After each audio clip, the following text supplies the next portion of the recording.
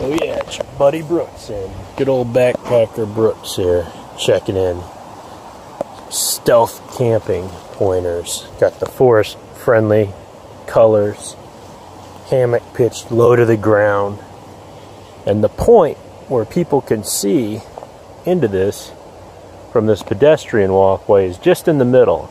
So people can't be walking, they can't be walking from a long ways either way and seeing into where I am in case they catch my shoe glow in the dark or little piece of something move.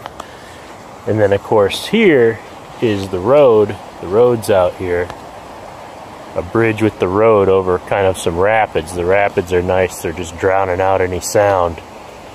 And there were some really bright lights shining in here, but nobody can really see. I picked the darkest spot the darkest spot amongst the trees when those bright lights were shining. And anytime you look at a bright light, it just shines against the trees. You can't see what's beyond that. So everything I have is pretty forest friendly in color.